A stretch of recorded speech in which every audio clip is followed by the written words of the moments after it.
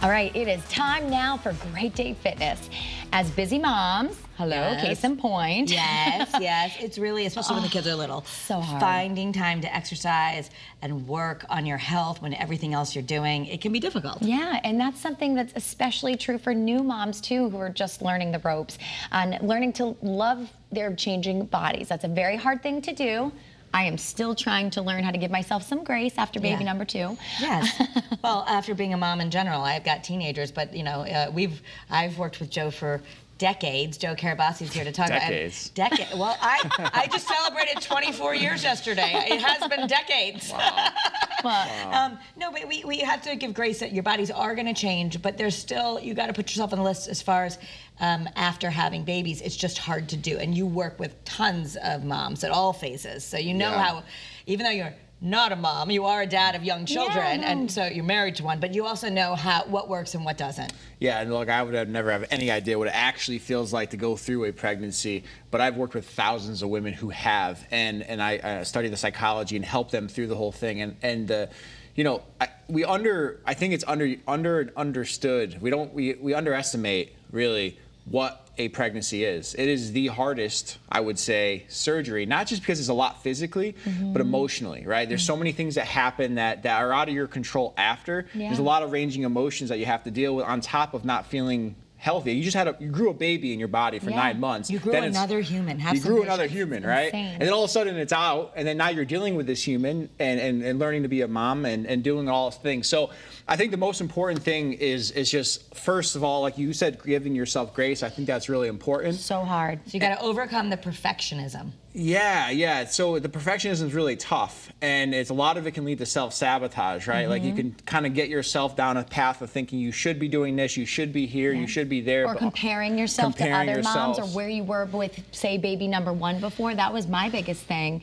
Tough. you know, your body undergoes this trauma. I had two C sections. It's a lot. And I think that sometimes you're still physically, let alone mentally, right? That's a whole other thing. Trying to figure out, like, where, where do I fall now? Like, how does this, I, you're never going to get the body back that you had. It's different now, you know? It's lived a little, it's, it's Oh, yeah. birthed babies, it's given life.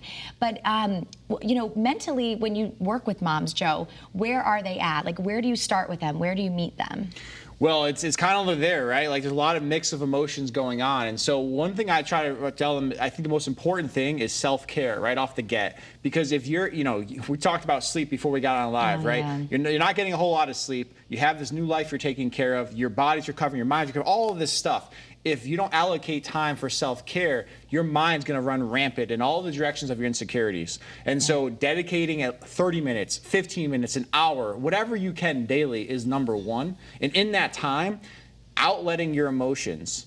A part of me feels this. I don't care if it's part of me feels fat, whatever it is. Get it out of your head, Yeah. right? You're not fat, obviously, but if you feel like that, get it out of your head because if you don't, you're going to ruminate. And that's going to cause more of the similar feelings. I, I think that for me, um, in all different phases, I think journaling really helps. It leaves something about uh, five minutes of whatever.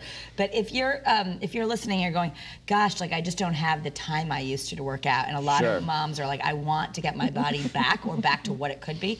Um, what's a good goal? Like, because you often say we don't need to do hours of cardio a day. Like that's just wrong. You could even start with a 20 minute walk every day can make a huge difference, and could be like a way to give yourself some me time. Oh, 100%. But back to self sabotage, because those two tie together, is the all or nothing, the perfectionism. Yes. I don't have an hour, I don't, so I can't do anything at all, Right. right? Then you just don't do it or, all, Or a lot of moms will say, and I'm going to call you out on this because I'm a dad as well, and I'm always working out with my kids, is that I can't, the kid's crying, the kid's doing this. Okay, so be it. That's self sabotage. Blaming the kid for you not exercising and the kid is crying, that is self sabotage. We got to be honest here, right? And so, with that, if your kid is crying, you got to dedicate some time and teach them that this is time for me to exercise. Now, obviously, after extended period of times, you hold them and stuff like that, but you have to give yourself that boundary of like, hey, I'm gonna take 10 minutes. And if- that 10 minutes my kid cries, it's gonna be okay. Mm-hmm. Because you know what's gonna happen is not only you taking care of yourself, you are showing that kid at a very early age the importance of mm. taking care of yourself. And that is monstrous. Now, our kids are super into exercising because they see my wife and I every day. And look, it's not easy. Sometimes they're grabbing at your these are crawling around. They're crying. But you know, you got to do it. You know, my husband makes such a good point of making that time for himself to exercise. And my son even now wants to get into the garage and get in on the action, do a little bit of, you know, lifting with some, you know, Yeah. But couple- ano- do a another thing, another thing mentally though is the guilt that a, a lot of moms will have. Well, that's what I was going to say. I have the guilt. I don't make that time like my husband does, but I need to stop self-sabotaging. Right. Well, because, and look, I, I, it's hard, right? it's Yeah, it hard, but you have to frame it differently, Right. realizing that it's not about like taking time away. It's actually you becoming a better parent because you will be more irritable and, and less Mm-hmm. aware if you are not taking care of yourself. And you're teaching Emmy how to take care of herself. 'cause Absolutely. That's why he wants to follow his dad. Yeah. If you teach your kids. So it's all, uh, but Joe can help you actually if you want to check him out at Define Mind Body Wellness. Uh, you can buy one, get one free holistic belly fat spot reduction also. All right. Have a great day, everyone. See you at four.